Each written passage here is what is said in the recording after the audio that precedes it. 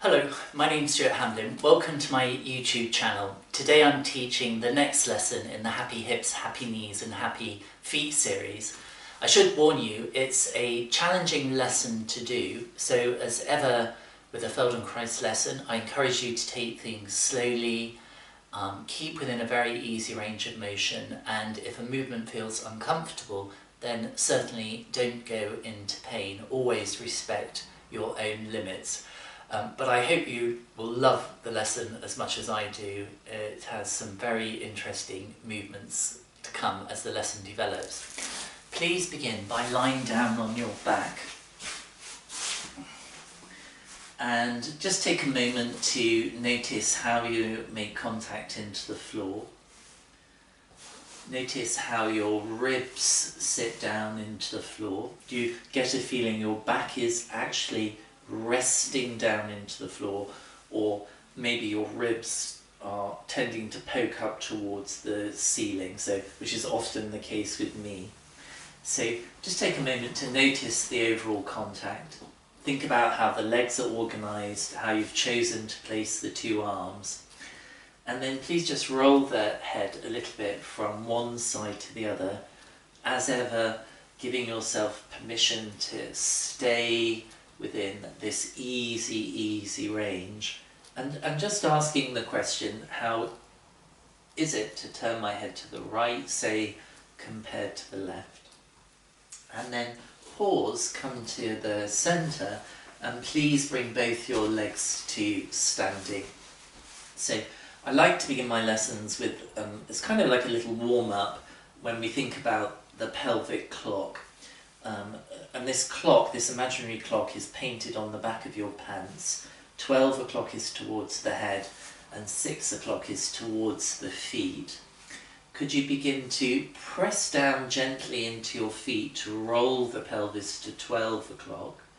And then you think of the feet becoming light to help you arch the lower back and go to 6 o'clock. So you just gently press through the feet to roll to 12 o'clock and then you think of the feet becoming light to help you arch, arch the lower back. And once you've got used to that movement, using the legs, think also of pulling in a spot two inches below the navel to really help that lower back come closer to the floor. And think of pushing out that spot two inches below the navel with your tummy muscles. So don't be shy about doing that. It's very necessary um, to, to, in order to be able to control the lower lower back. We're so conditioned to hold our stomachs in all the time, but you should be able to pull in the stomach to bring the lower back down, and then push out the stomach to help arch the, the lower back. Good. Now, pause once you've done that and then just have the arms long by your side and begin to just slide your left shoulder away from the ear as the right shoulder slides up to the ear. And then switch so as your right shoulder slides away from the ear the left shoulder slides up to the ear. So you're just alternating lengthening one arm down towards the feet and then the other arm down towards the feet Let's see if you can feel, if you're allowing the chest to soften, how um, the ribs soft, soften and come together on the side of the arm that's lengthening and therefore they open on the side that um, not lengthening. So just feel that yo-yo movement of one shoulder coming up as the other slides down. And then pause and then begin to think mostly of lengthening your left arm down towards the, the left foot. So, but, and then come back. So, and see if you can allow the head to slide also to the left too. So I'm not thinking of turning the head or rolling the head, but it's the same point on the back of the head slides to the left to facilitate me being able to lengthen that left arm down. Now, the next time you are side bent to the left, pause there and allow your right knee to fall out to the side, drift out to the side. And you'll notice there is a gap or a bridge underneath your left leg from the buttock to the heel, a space there. Could you begin to slide your right foot underneath that gap towards your left hand? So you're just exploring, can you slide the right foot over towards the left hand to see if you can take hold of the foot in the palm, palm of the left hand. And then take your right arm overhead, right arm overhead, the palm towards the ceiling, and very gently begin to use your left hand to slide the right foot a little bit further to the left. And then just ask, what do you need to do in the chest, or what can you do in the chest and the ribs that enables you to slide that foot a little bit further? So you can turn the head and eyes to look towards your right arm, but can you perhaps see how my ribs are softening and how I'm allowing a little bit of my weight to shift into the ribs on the right hand side to facilitate the sliding of the right foot out out to the left. So again, nothing um, uh, necessary to force here, just be very gentle. When I taught this lesson in class this week, quite a few of my students had a sudden um, attack of cramp as they were just exploring this new position. Good. Now, once you've done that a few times, carefully undo, bring yourself back to the centre and allow the legs to go long for a moment. And then just notice how that feels, that uh, contact into the floor after that variation. Um, for me, very interestingly, my left ribs, left hand side, seems to be a little bit closer to the floor, which I wasn't expecting actually. I thought it would have been the right hand side. Um, uh, please bring the legs back to standing and then begin to just side bend to your right. So you think of lengthening your left, right arm, sorry, down towards the feet and allowing your head to slide on the mat. So the left, left shoulder will come up towards the ear as the right shoulder slides away from the ear. And then when you are side bent to the right in this way, um, allow your left knee to drift out to the side and then slide it over and see if you can catch your left foot in the palm of your right hand. And then take your left arm overhead, palm towards the ceiling, and begin just to explore. Can you slide this left foot a little bit further towards the, the right? And, and just to explore maybe what could you do in the chest and the ribs to enable you to take that foot a little bit further. So I can feel actually how my right ribs are coming closer together as I allow my weight to shift over to the left hand side of the chest as I pull that right foot over to the left. Good. Now pause.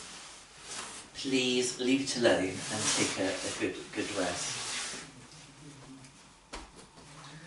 and now my right side feels a little bit lower and actually it does make perfect sense that that would be lower because some of those movements we've just been exploring have been bringing those right ribs closer together enabling them to sit a little bit more closely um, to the floor.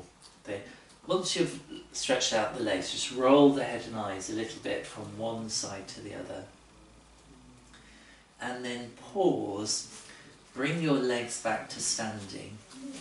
And then once more, side bend your upper body to the left. So you lengthen the left arm in the direction of the feet. I slide the head to the left. And then allow the right knee to drift out to the side once more. And bring that foot over to the left, underneath the bridge of the, of the left leg, and catch your right foot in the palm of your left hand.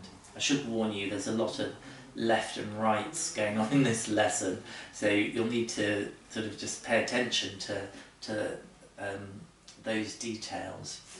And then um, once you've, you're there, bring your left leg in towards the chest. So, and then once you've brought it into the chest, what will help you to do that is to think of pulling in that lower tummy. You see, if I keep my lower back arched, the knee's going to go further away from me. Whereas if I think of keeping that spot two inches below the navel pulled in, I can bring the knee a little bit closer to the to the head.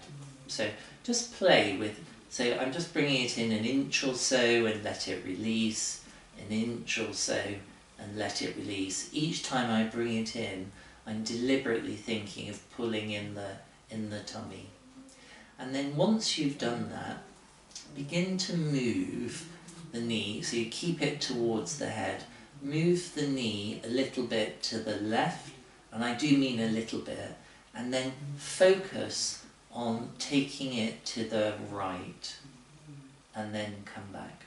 So, a little bit to the left, and then I think of the knee is going to go to the floor on the right, but I'm not trying to get it anywhere on the floor. That's the direction I'm aiming for. So again, think of keeping the tummy pulled in, the knee towards the head, and then begin to direct the knee over to the floor on the right. Now, um, it's very easy to get caught up in the idea the knee has to go to the floor. But actually, what I think is much more interesting about this movement, and hopefully you're discovering it too, is as the knee begins to travel to the right, the left side of the pelvis comes away from the floor, and therefore we're in the realms of an interesting twist in the spine and the ribs. So I can feel as the left hip comes away, my ribs on the right hand side are being pressed into the floor. But you'll notice I'm keeping my left shoulder down. And now as you begin to take the knee maybe a little bit further, just pull the right leg a little bit further, foot a little bit further to the left. Just exploring again, no need to get the foot, the knee to the floor, but really just exploring, oh, this is doing something quite interesting to my ribs. Good. Now, um, pause, please lengthen legs and take a good, good rest. Just let everything settle for a moment. And then once you're, you've stretched out, just roll the head a little bit to the right and to the left. And yes, again, super interesting. My left side, it's as though someone's ironed me down into the into the floor. So let's do that on the other side. So bring both legs to standing. And first of all, begin by side bending your chest and your arm, arms and your head a little bit to the right. Let, allow the left knee to drift out to the side and slide that foot over to the left, to the right, sorry, so you can take hold of the foot in the palm of the hand, um, of the palm of the right hand. And once you're there, bring the right knee in towards the chest and just spend a few moments just thinking, can I bring it a little bit closer to my head? And again, the one thing that will help you to do that, mm-hmm. I'm fairly confident, is if you think of pulling in the tummy. So you want to be definitely more to 12 o'clock to help you bring the knee in. You see, if I go to 6 o'clock, that knee is not coming in because my back's getting in, the, in, the, in the way. So, And then once you've explored that a few times, just think, can you begin to take the knee over in the direction of the floor on the left, but also in the head direction rather than letting the knee go away from you. So, and I can feel the right side of the pelvis peeling away from the floor. I'm keeping my tummy pulled in. And, and again, we're in, in the realms of a lovely, lovely twist developing in the, in the ribs. So see if you can begin to add pulling the right foot a little bit further to the right, sorry, the left foot a little bit further to the right as the knee goes to the floor. And once you've done that a few times to your satisfaction, pause and take a, a good, good rest.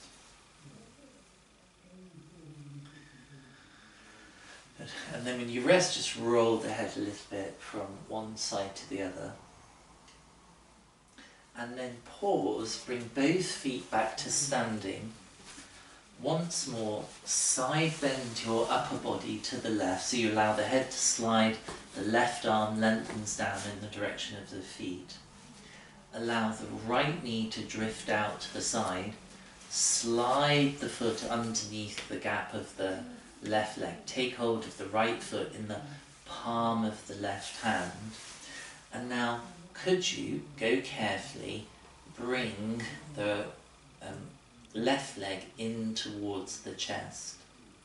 And then bring the left foot over to the floor on the right and see if you can take hold of it with your right hand, right hand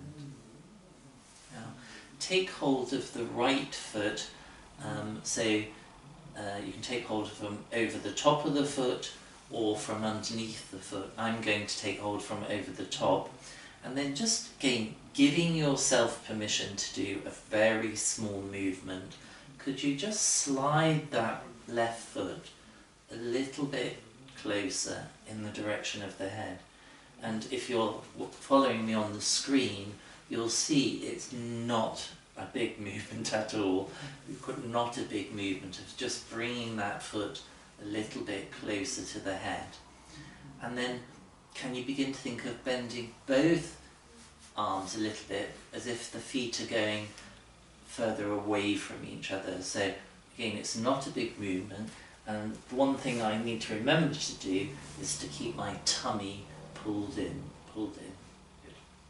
Now pause and then see if you can begin to add a lifting of the head. So as I think of just pulling the feet further apart, I think of lifting the head to look at my tummy and then release. So um, the one thing again that will help you to lift the head is first of all to use the breath. So if I breathe out, it enables these ribs here to soften down and the chest to soften down so that as my head lifts, I can feel parts of my back press more firmly into the floor. There. just do what you comfortably can without strain. To, so as if you're taking the feet wider away from each other as you lift the head. And then please pause leave it alone, and again just stretch out the leg. So um, just as you're resting, again, I, I find this, it's a fascinating lesson really. As I've mentioned before, as we all get older, what tends to happen is our chest and middle um, becomes quite, um, for want of a better word, stiff or non-adaptable to, to movement. And even though in this lesson where the instructions are very much given in terms of moving the limbs, the foot or the knee, it's actually an awful lot of the lesson is about what those movements can create in terms of movement and change for your centre, for your ribs and your, and your chest. Now pause, bring the legs back to standing, side bend your upper body to the right, so the head slides, the right arm lengthens down towards the feet. Allow your left knee to drift out to the side and slide that foot over to the right so you can catch hold of the left foot in the, in the right hand. And then bring your right leg in towards you and see if you can bring the foot over to the floor, over to the floor on the left and catch hold of the foot with your left hand either from underneath or from the top of the foot. And, and again, just do a small movement to begin with. Can you slide that foot a little bit further towards the head? And you'll see um, it's such a small movement, you can barely notice it. it may be a small movement, but it's a big stretch for some of those hip rotator muscles that often get a little bit neglect, neglected. Now, once you've explored just sliding the foot a little bit towards the head, see if you can, um, as if you're taking the feet wider apart, and as you do that, lift the head and then release. So, again, I think of taking a breath in as I breathe out, because I want to use the exhalation to lift the head. I can feel some of those ribs that like to poke out when I'm lying down being challenged to release a little bit and sit down closer to the floor. Good. Now pause, carefully undo, bring yourself back to the middle and again just take a rest. Good rest and notice, so those little wiggle movements I often do after a variation is actually because I can feel my ribs wanting just to be in a different place um, on the on the floor. Just roll your head a little bit from one side to the other. And then pause, come to centre. Bring both legs back to standing again. Side bend yourself to the left, to the left, so the upper body slides to the left, uh, left arm lengthens down towards the feet. Allow your right knee to drift out to the side slide the right foot underneath the bridge of the left leg and take hold of it in the palm of your left hand. So back to that start starting position. And then please bring your left leg in towards you again and see can you take hold of the foot foot with the right hand. So I'm not trying to have the foot down on the floor, it's up in the up in the air. And take hold of the left foot with the right hand. Now again you can either hold from underneath or from over the top of the foot if that's possible for you. And then can you begin to lift the foot towards the ceiling as you lift the head. So I just think of lifting the left foot up towards the ceiling as I lift the head and you can try each hand grip to see which suits you better. So I'm lifting the foot as I lift the head and again I can feel as the foot goes up, the head lifts, this middle area, if you allow it to soften with the out breath, that area can just sit down towards the floor. So again, I try and stretch the leg up and then come back down. Again, nice, easy breathing, nice, easy pace. You can do as many of these as you like, uh, as you like, but don't over overdo it. It's not about how high the foot goes, it's much more about what it's doing in terms of the chest. And I'm trying not to let my right knee lift up away from the floor. Good. Pause. Please leave it alone and take uh, a rest. Interesting variation. It's one of those lessons that um, yoga students love, I think, um, partly because of the work in the hips, but also, as you'll see, it develops into a very interesting variation towards the end of the of the lesson. once you have um, rested, bring your legs back to standing. Side bend your upper body to the right, to the right, so the right arm lengthens down towards the feet. I've, the head has slid to the right. Allow the left knee to fall out to the side. Slide the foot underneath the gap of the right leg and take hold of your left foot with the palm of your right hand and then bring your right leg in towards the chest and take hold of the foot with your left hand if possible and then begin to do a movement of lifting the foot towards the ceiling as you lift the, the head.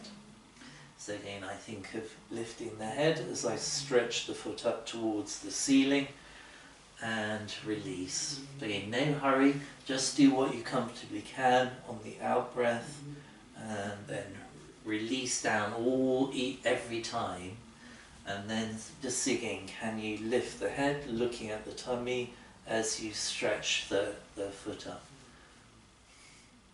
what can you feel pressing down into the floor as the foot lifts. Good.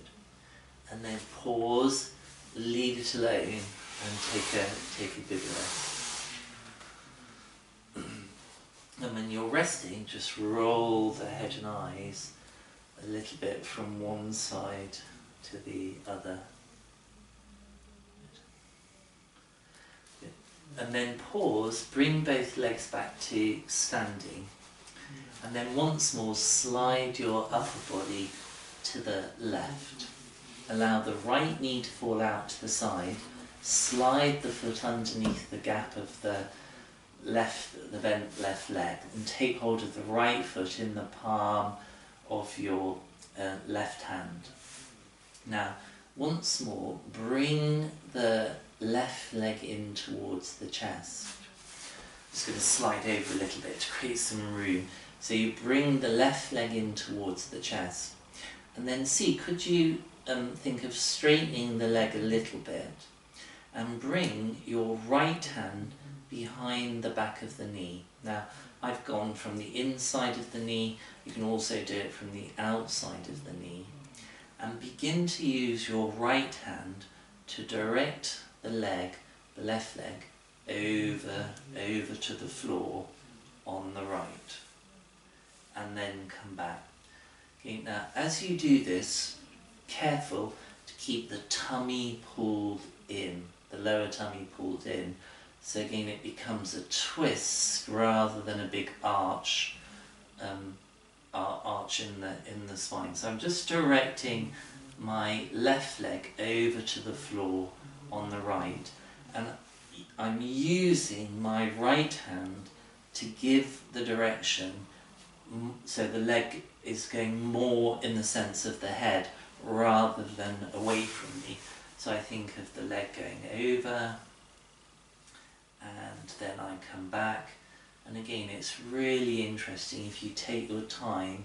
Don't be in a hurry uh, if you're doing this at home just to feel so I'm feeling this a lovely twist going through my spine through my spine as I take the leg a little bit further and then come back. And then as you just explore this a few more times see as you take the knee, left knee over to the left, can you maybe pull the left, the right foot, sorry, a little bit further to the left and then come back. Good. Now pause, leave it alone and take a good rest.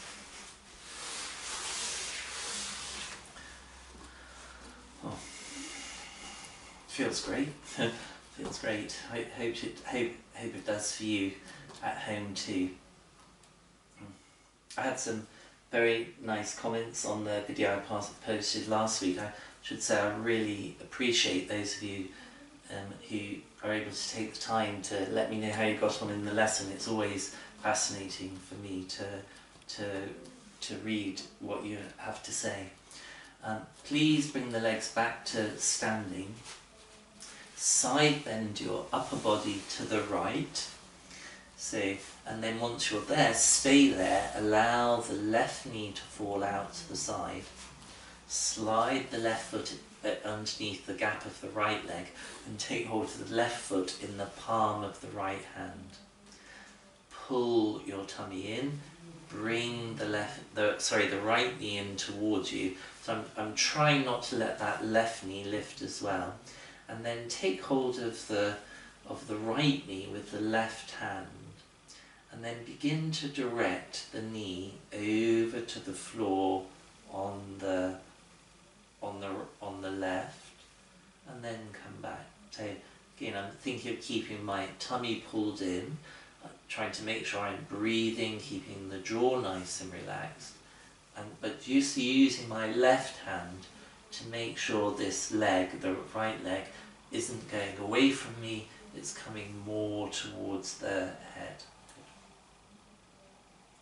Just a few more, it feels so good, so good to find this movement travelling through the spine and the, the change in the, in the ribs.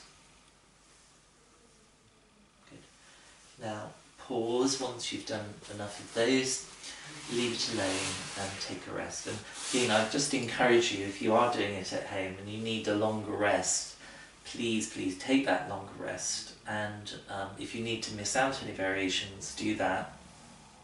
Uh, so you're always taking care of, of yourself. So pause, just rest on the back for a second, beginning to feel again a bit taller, which is always always always a bonus. And then please bring your legs back to standing. Side bend your upper body uh, to the left once more. And then allow your right knee to drift out to the side. And then slide the foot over the right foot over to the left again so you can take hold of it with the left palm of the left hand. So, and hopefully that's a bit easier for you to bring that, that right foot over in that way. And then please lengthen your right arm overhead on the floor. So palm is towards the ceiling. So just if you can, take the right arm over overhead. And then bring your left knee in towards the chest again and if you can, do what you can to straighten the leg. Now, I'm not trying to turn it into a yoga position or anything like that, so just comfortably straighten the leg. And then I'm just sliding a little bit towards the camera because I know what's coming. coming. So you bring the le left leg in towards the chest, try to straighten the leg to the degree that you comfortably can and begin to take the leg over to the floor on the right. And then come back. So even if the leg is, is very bent, as you begin to take the leg over to the floor on the right, see if you can then straighten that leg, that leg, the left leg, and then come back.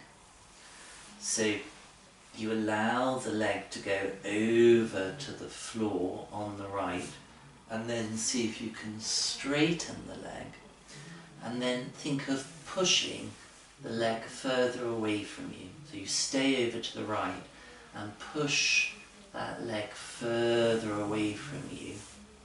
So I'm thinking of pushing the heel further away. So I push and I pull, thinking that's it, how I can allow my myself to roll through the chest towards my front and then eventually the further the leg goes what will happen is the left the right lower leg will come away from the floor. The head will lift to look at your right hand and then slowly slowly come back. Do keep the leg over to the side but push it in the direction of the head if possible, pushing it away to um, help you to lift the head. So as you turn the head to look towards your right hand.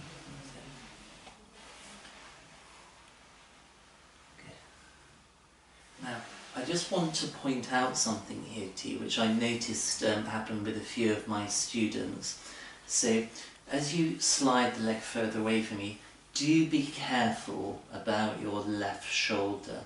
See, what was happening in class is some students were pulling the shoulder forward, whereas really you want to allow the shoulder to be nice and open, nice and open and tucked into the back. So if you, if you have a look, I'm not trying to pull myself around with my pectoral muscles. I'm really thinking of transferring my weight through these ribs and the chest on the right hand side to help lift the head and then come back. Pause. Isn't that such a lovely movement? Um, uh, and again, lo uh, I like it a lot because all of a sudden in this slightly quirky, crazy lesson, you get this lovely sense of extension in the spine as you begin to roll more to the to the front. Please um, pause, just take a rest for a second. And then once you have rested, bring the legs back to standing. Allow your upper body to slide to the right. And then allow the left knee to drift out to the side. Bring the left foot over to the right, underneath the gap of the right leg. And take hold of the left foot in the palm of your right hand. And then once you've done that, please lengthen your left arm overhead on the floor. So um, palm is towards the ceiling.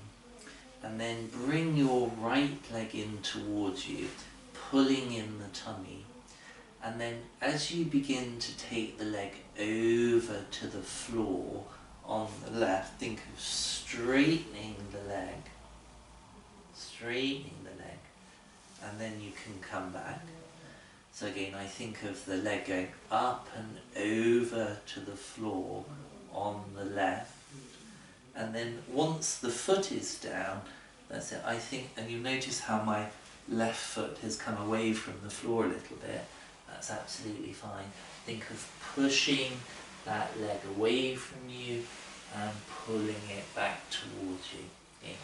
Pushing it away and then pulling it back towards you and as as the as the right leg pushes out to the left, I can think of my left foot pushing pushing into my hand to help me lift and ex extend the spine. Again, such a lovely movement. But do be careful that you've allowed your right shoulder to release. Don't try and keep it pulled forward with the pectoral muscles. Are you breathing as you're doing this? Are you able to keep the jaw nice, nice and relaxed? Oh, feels so nice. And then once you've done, explored that movement, leave it alone and come and take a rest.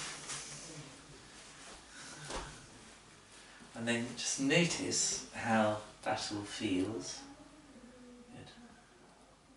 Just notice the contact that you make into the floor, how the, the legs and arms are resting. And then just very lazily again, just roll the head and eyes a little bit to the left and a little bit to the, the right. Good. And then once you have rested, bring the legs standing, roll to whichever side is good for you, and then support yourself as you come up to sitting. So, um, really uh, a challenging lesson, I think, um, certainly challenging for a number of my students here in Rutland. Certainly, um, uh, uh, when I first got introduced to it, it was a bit of a shock to the system. So, I hope you were careful. But I love, love the lesson, absolutely love it. Um, and because it it brings into play all these movements for the spine and the chest that we've been looking at in these lockdown months and uh, I hope you enjoyed it. I'd love to know how you got on if you have the time to comment in the comment section below. If you haven't already subscribed to my YouTube channel then please hit the subscribe button. Stay safe everybody.